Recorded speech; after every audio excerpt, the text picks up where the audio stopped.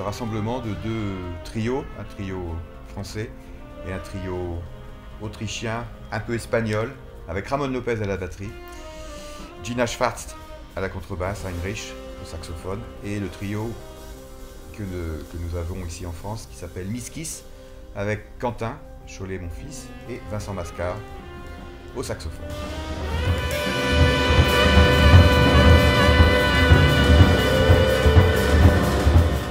Double Vision ist ein großartiges äh, neues Doppeltrio. Es sind großartige Kompositionen, die wir zusammen spielen. Toll, viele jazzmusikalische Freiheit.